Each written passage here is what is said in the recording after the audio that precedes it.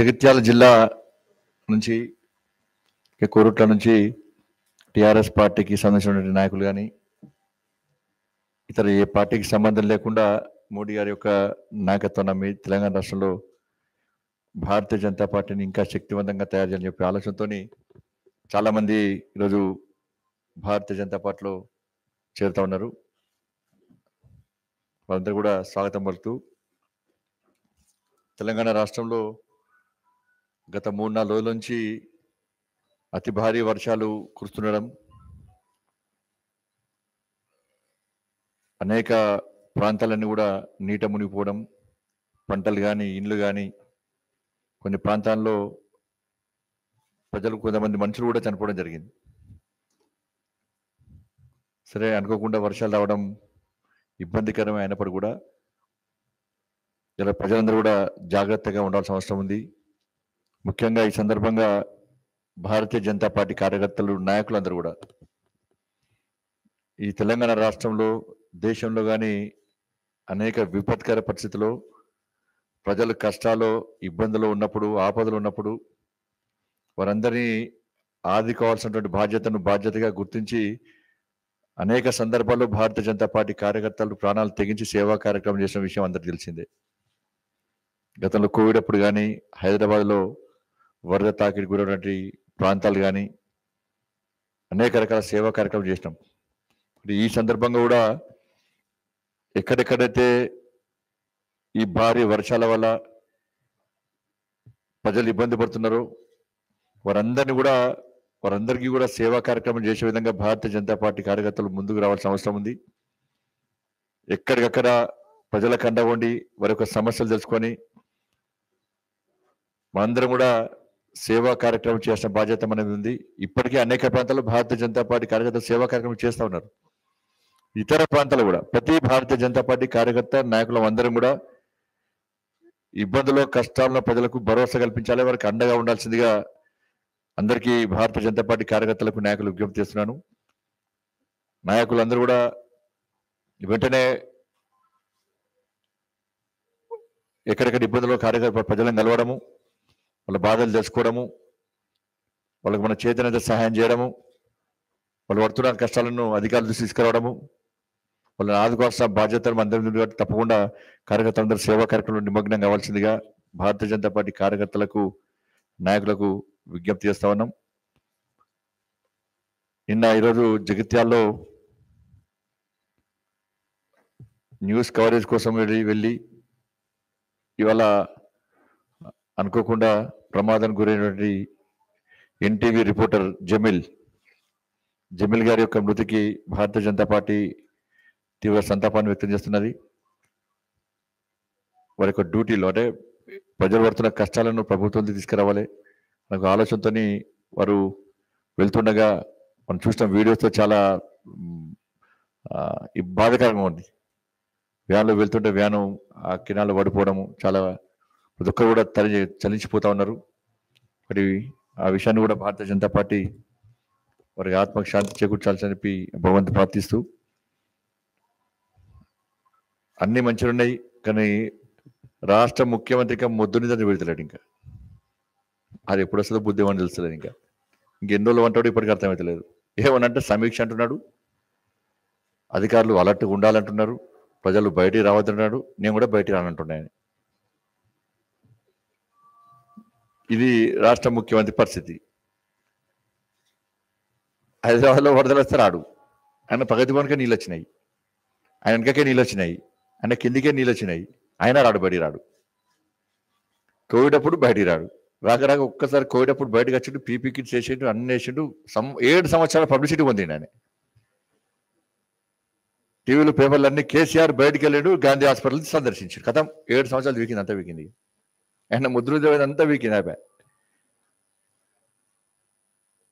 Covid అప్పుడు రాడు హైదరాబాద్లో వరద వస్తా రాడు ఇవాళ నువ్వు చేసేది పాప చేస్తానే ఎవరు నమ్మకం విశ్వాసం లేదు కనీసం పోతే అరే మా ముఖ్యమంత్రి బయటికి వెళ్ళండు మమ్మల్ని పరామర్శించే ప్రయత్నం చేసి ఒక భరోసా నింపే ప్రయత్నం చేసి చెప్పి మాత్రమే కనీసం సంతోషం వాళ్ళకి అంతే నువ్వే ఆయన ఏం చేస్తారు పిక్చర్ ఎవరికి గ్యారెంటీ లేదు ఎవరికి నమ్మకం లేదు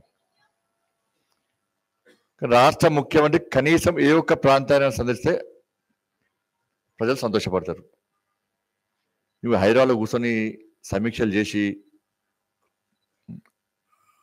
అధికారులు కనీసం వాళ్ళని పట్టించుకోకుండా అధికారులు కావాల్సిన అవసరాలు తీర్చకుండా పాప అధికారులు ఇబ్బంది పడుతున్నారు. సరే వర్షాలు అనుకోకుండా వచ్చిన దానిలో వేరే ఇబ్బందులు ఎవరేమేమి నిజంగా విమర్శించాలి మేము కూడా. కానీ ఇప్పటికైనా అనేక ప్రాంతాలు ఆదిలాబాద్లో బాబు గారు ఫోన్ చేసి ఇప్పుడే నలభై వేల ఎకరాలు మునిగిపోయినాడు మంచి ఇల్లు గుట్టుకపోయినాయి చాలా ప్రాంతాల్లో. అనేక ప్రాంతాలు ఇబ్బంది పడుతున్నారు. ఇలా ఏమనంటే భారతీయ జనతా పార్టీ తిట్టడం నిన్న చూసిరు అందరు మినిస్టర్ అందరు పొట్టుపొట్టు తిట్టారు నాన్న అది. తిట్టిన తిట్టు తిట్టకుండా తిట్టారు. వాళ్ళని ప్రజలు తిడతాను మన ముఖ్యమంత్రి ప్రెస్ మీటింగ్ చూసిన తర్వాత రెండున్నర గంటలు వాయించిన తర్వాత ముఖ్యమంత్రి తెలుసుకోవాలి. ఏమైతే తెలంగాణ సమాజము మేధా వర్గం కానీ ఆలోచన పనులందరూ కూడా ముఖ్యమంత్రిని ఏ విధంగా తిట్టుకుంటారో ఒకసారి ముఖ్యమంత్రి తెలుసుకో తెలుసుకోవడానికి కాబట్టి నేను ఒక ఈనవాడే కనబడే నాకు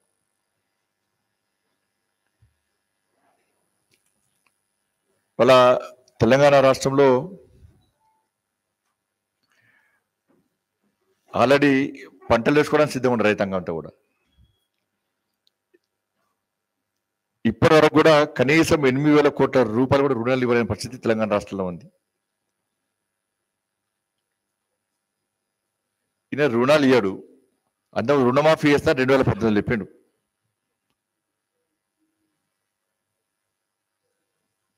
రుణమాఫీ ఏడు రుణమాఫీ ఏకపోవడం రైతులు ఇబ్బంది పడుతున్నారు. రుణాలు ఇస్తా అని చెప్పి రుణాలు ఇయ్యాడు. రెండు వేల పద్నాలుగు నుంచి ఇప్పటి వరకు ఇప్పుడు యాభై వేల కోట్ల రుణాలు ఇవ్వని చెప్పి రాష్ట్ర ప్రభుత్వం టార్గెట్ పెట్టుకున్నది. రైతులకు. రెండు వేల పద్నాలుగు నుంచి ఇప్పటి వరకు కనీసము అరవై శాతం కూడా రైతులకు రుణాలు ఇచ్చే పరిస్థితి లేదు. రెండు వేల పద్నాలుగులో రుణమాఫీ చేస్తాడు. చేయలేదు. మళ్ళీ రెండు వేల పద్దెనిమిదిలో మళ్ళీ లక్ష రూపాయలు రుణమాఫీ చేస్తాడు. మళ్ళీ చేయలేదు. ఇవాళ రుణమాఫీ చేస్తారవచ్చు అని చెప్పి రైతులు అంతా ఎదురు చూశారు. వడ్డీకి వడ్డీ కట్టారు రైతులు బ్యాంకులు కొత్త రుణాలు ఇచ్చే పరిస్థితి లేదు. కనీసం బ్యాంకర్స్ మీటింగ్ పెట్టి ఇన్ని సంవత్సరాల కాలం ఒకసారి బ్యాంకర్స్ మీటింగ్ పెట్టలే. బ్యాంకర్స్ మీటింగ్ పెట్టి వాళ్ళ రిక్వెస్ట్ చేస్తావా? ఏం చేస్తావు? చెప్పి రైతులు ఆదుకోండి అని చెప్పి కనీసము కొత్తగా రుణాలు ఇచ్చే పరిస్థితి తెలంగాణ రాష్ట్రంలో లేకపోవడం వలన వాళ్ళ రైతాంగం అంతా కూడా అడ్డి పావుసారు వడ్డీ తెచ్చుకొని ప్రైవేట్ వ్యక్తులుగా వడ్డీ తెచ్చుకొని వడ్డీలు చెల్లించలేక అసలు చెల్లించలేక వ్యవసాయం చేసుడా చేయొద్దా? అనేటువంటి ఒక అయోమయంలో రైతాంగం ఉంది. ఇంతవరకు కూడా కనీసం వాటి గురించి ముఖ్యమంత్రి నోరు మెదపలే రుణమాఫీ చేస్తానది లక్ష రూపాయలు రుణమాఫీ చేస్తానది నువ్వే. రుణాలు ఇస్తానది నువ్వే. రుణమాఫీ ఏవా? కొత్త రుణాలు ఇవ్వవా నువ్వు రుణమాఫీ చేస్తావని చెప్పి ఆశతో రైతాంగం ఎదురు కాబట్టి. నువ్వు కడతావచ్చు అని చెప్పి వాళ్ళు తీసుకున్న రుణానికి కట్టకపోయా ఇప్పుడు వాళ్ళ సొంత పైసలు బ్యాంకులో వేసుకుంటే కూడా బ్యాంకులు కట్టేసుకుంటున్నారు. వాళ్ళ పిల్లలక దానికో దీనికో అప్పో సప్పో పిల్లలకో పెళ్ళిళ్ళకో తోడు చదువు కోసమో వాళ్ళను బ్యాంకుల పైసలు వేసుకుంటే కూడా వాళ్ళ బ్యాంకులు మొత్తం కడే బ్యాంకులలో పైసలు వేసుకునే పరిస్థితి రైతులది వాళ్ళు.